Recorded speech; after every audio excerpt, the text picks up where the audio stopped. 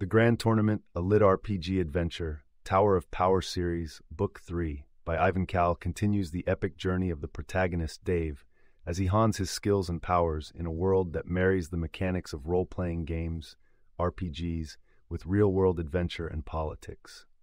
As the third installment in the Tower of Power series, the book sees Dave participating in a highly anticipated tournament that draws participants from various domains, each with their unique abilities and aspirations. The story is set in a fantasy world where individuals can level up their attributes, gain skills, and acquire magical items, much like characters in a traditional RPG.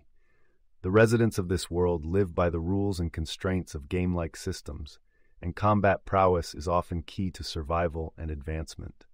The Grand Tournament offers not only the chance at fame and glory, but also the chance to gain significant power, wealth, and artifacts that can tremendously boost a competitor's abilities.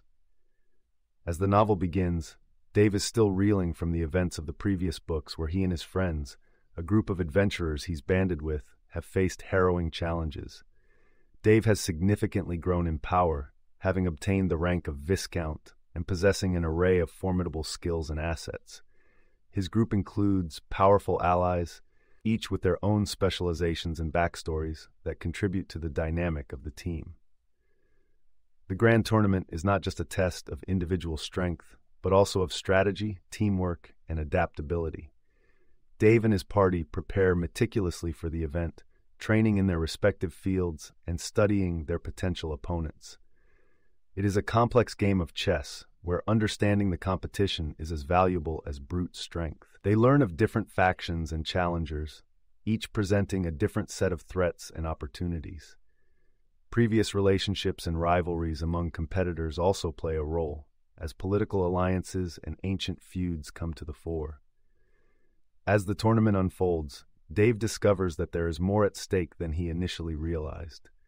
Nefarious plots are afoot, and there are those who seek to use the tournament for their own dark purposes. Dave and his companions must navigate through a web of deceit, betrayal, and manipulation, setting aside personal ambition for the greater good. He encounters a host of unique characters, from honorable knights to cunning sorcerers, all vying to claim the top prize for their economies. Battles in the tournament range from duels to large scale team engagements, with each presenting its own set of unique challenges. Dave's ability to adapt and learn from his experiences is tested to the utmost.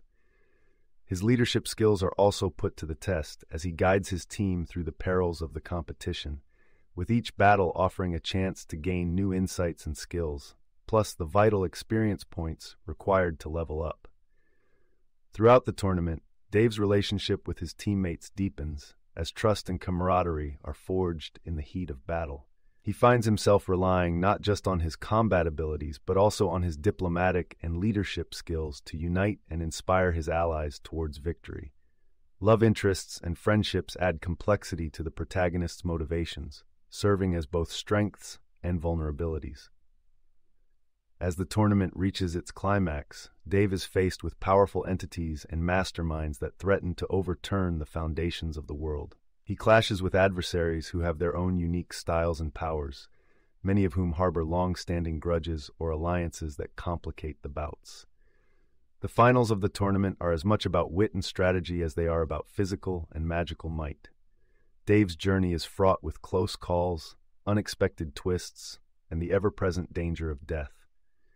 In this lit RPG world, death can have real and lasting consequences, adding tension and stakes to every confrontation. The protagonist and his companions also grapple with moral choices and the consequences of their actions, both inside and outside the arena. The titular Grand Tournament is not only a spectacle of combat, but also serves as a backdrop for character development and world building. As the narrative unfolds, readers learn more about the history, politics, and cultures of the different realms that make up the story's world. The social structures and power dynamics of the world are explored, giving depth to the setting and the actions of its inhabitants. The rules of the lit RPG genre are cleverly woven into the story, embracing concepts such as leveling up, skill acquisition, and item crafting. These mechanics serve to enhance the immersive quality of the narrative, allowing readers to experience the growth and progression of the characters in a quantifiable way. The integration of these systems into the plot and character arcs makes the reader feel like a part of this game like reality. The book culminates with the end of the tournament, which results in both expected and surprising outcomes. Victories are won, alliances are tested, and the true intentions behind the tournament's inception are revealed. With the tournament concluded, Dave and his team are left to ponder its repercussions on their personal lives and on the balance of power within the wider world. As expected for a series, the conclusion of the grand tournament sets the stage for further adventures. There are threads left to be explored, and mysteries remain unsolved, ensuring readers' anticipation for the next installment. Dave emerges from the tournament changed, not only in power and status, but also in his understanding of the world and his place within it. By the end of the novel, Dave's story has become one of not just personal achievement, but also of the impact one individual can have on a complex, interactive universe.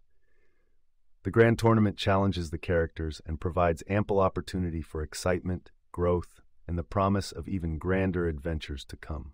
You can listen to the full audiobook for free by following the URL in the description.